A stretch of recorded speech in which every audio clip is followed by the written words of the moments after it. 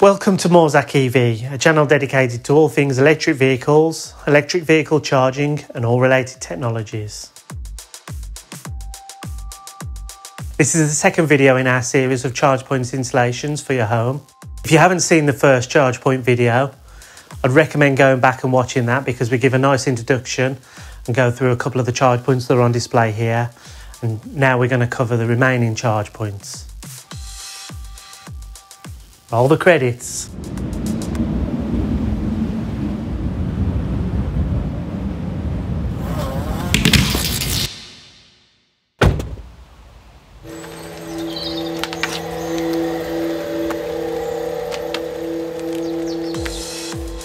So I'm displaying here the timestamps for each charge point in case you want to skip forward to each section.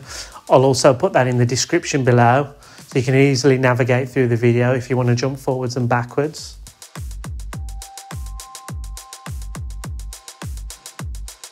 Next we move on to the EO Mini Pro version 2. So this is an upgrade of the original EO Mini Pro which looks almost identical to this.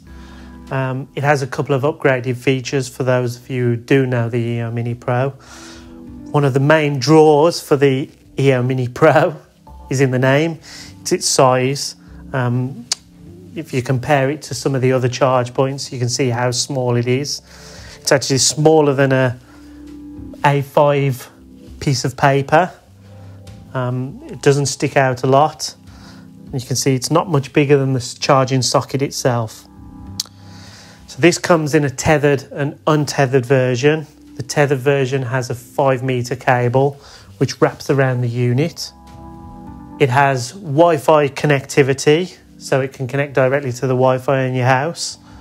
So the EO Mini Pro version 2 also has the options for load management and load balancing. So that's where if you've got too much power being used in your house or your mains fuse is too small, it will actually monitor what's being used in your house and taper back your the, the charge drawer on the car um, so you don't overload your house's main fuse. You can also use it in a garage, for example, where you have a smaller supply coming into a garage. So those are great options. It does also have an option for solar integration. So it will monitor your solar output. Um, and when you're sending solar, your solar PV electricity back to the grid, you can use that in your car instead to charge your vehicle for free.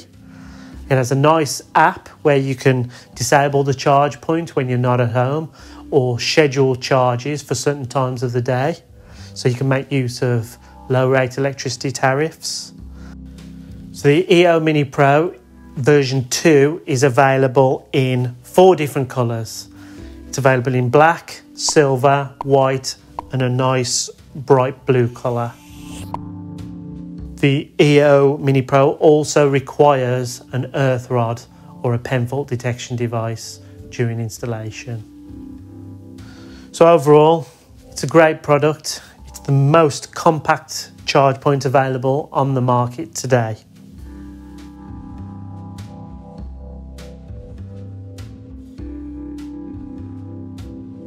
Next onto the Myenergi Zappi 2 so the Zappi is very famous for its integration with generation technologies such as solar PV, wind turbines, batteries. Myenergi also have a product called the Eddi, um, which uses the solar PV to uh, run your immersion heater in your hot water tank. Um, so it integrates with all those renewable technologies uh, to save you money and lower your carbon emissions. So the Zappi 2 itself is available in the 7 kilowatt variant and 22 kilowatt variant, three phase charging. It comes in a tethered cable with six and a half meters, or there is a socket option, the socket's right here. And the socket option also has the option to lock a cable in. So this is really useful if you want to have um, a 10 or 12 meter cable, for example.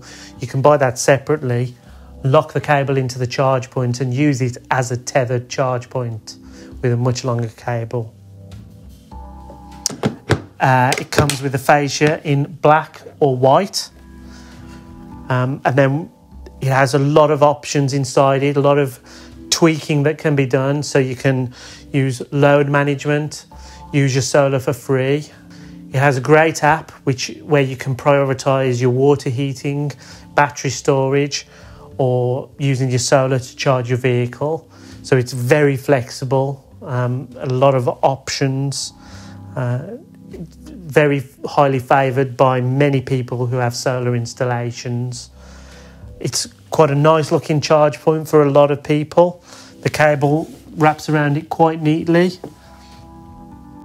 Another great feature of the Zappi is that it doesn't need an earth rod. It's got its own pen fault detection system built in, uh, so no earth rod required can make installations very simple, especially if you have some kind of metal clad building uh, that you want to mount the charge point onto.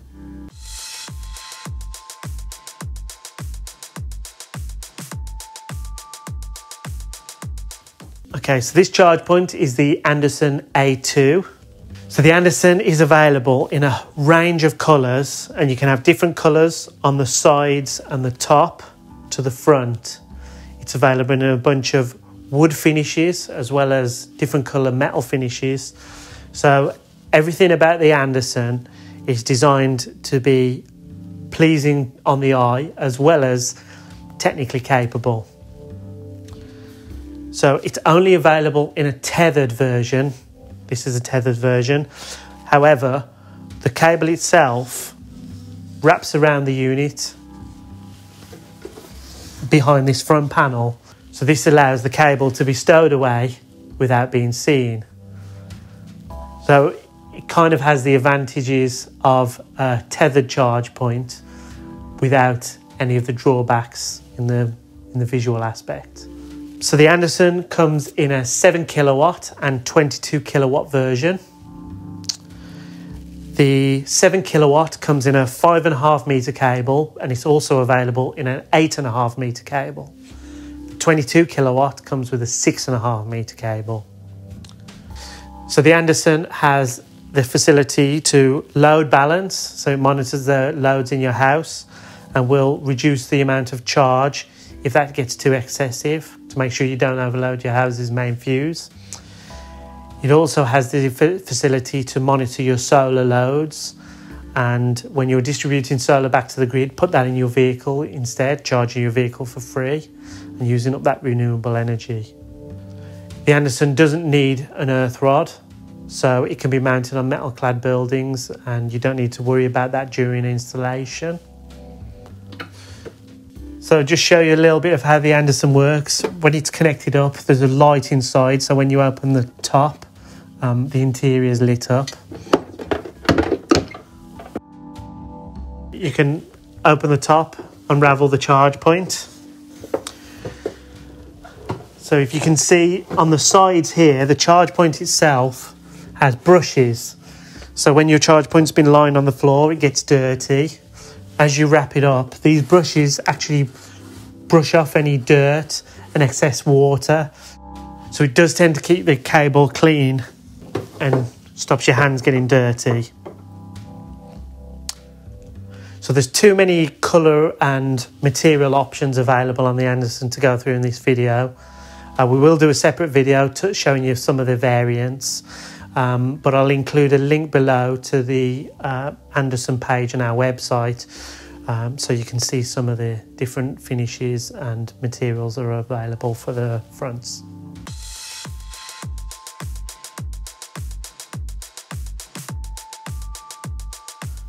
So the Rolec Home Smart comes in 7 kilowatts. There is a 22 kilowatt version available as well. It comes in tethered in a 5 meter variant, as well as a socketed untethered version. As standard, it comes in this funky black with bright green trim, but it is also available in a range of custom colour options. It connects to the cloud via a built-in SIM card on the Vodafone network.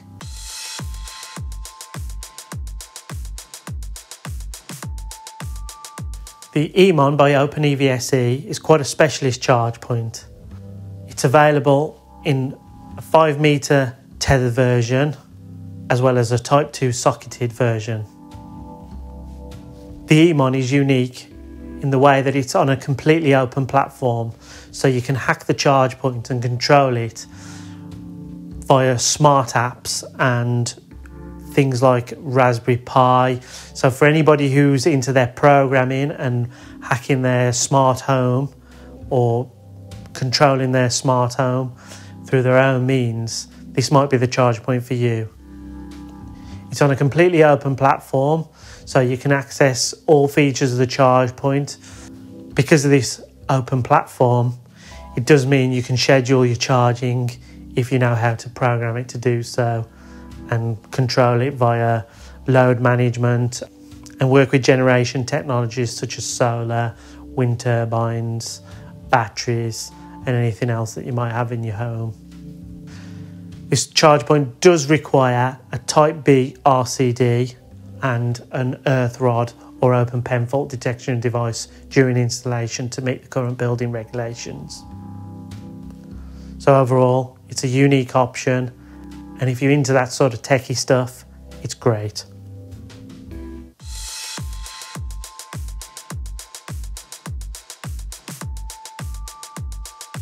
So now onto Wallbox. Wallbox are a company based in Spain. All their chargers come in 7 kilowatt and 22 kilowatt versions, and they have a few different chargers in their range, which we'll just go through quickly.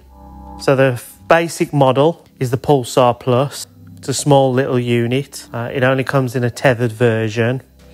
It's small and funky, and when it's charging, the lights around the edge here that you can see actually pulse, hence the name Pulsar. The next unit is this Commander 2. This is a nice touchscreen unit with a, an intuitive display where you can control everything from the charge point. Uh, it has a load management facility which you can adjust and control from the display, uh, scheduling. It only comes in a tethered version. The next unit is this Wallbox Copper.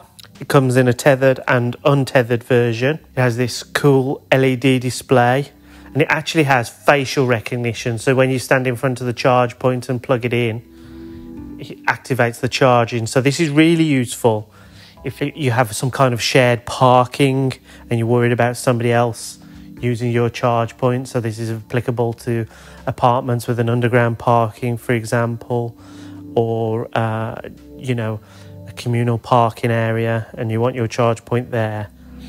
You stand in front of the charge point. Your face activates the charging, and it starts charging your vehicle, so nobody else can steal your electric. The final model in the range isn't so applicable here, um, but it might be in the future. They're the first company to produce a home version of the vehicle to grid charging system. So it's only on trial at the moment. It's not very easy to get one installed unless you're part of one of the trial schemes. But the Quasar is the world's smallest vehicle to grid charger. It's it's quite a large unit still, but a lot smaller than the commercial vehicle to grid charging units, which are frankly huge. So it's worth keeping an eye on this. Um, they're kind of leading the leading the market in in vehicle to grid charging systems. So overall, there's some cool products. If you're looking for something a bit different, check out their range. So I hope this video was useful. If you like the video, please smash that like button. Please smash that like. so I hope you enjoyed the video and found it useful. We will be doing videos on each of the individual charge points. Uh, we'll show you a bit of the installation process and go through the individual apps, show you how they work. So if you want to get notifications of all those videos, subscribe and hit the bell icon. If you do have any questions on the individual charge points or anything you want to see in the future, please leave a comment below. And in the meantime, thanks for watching.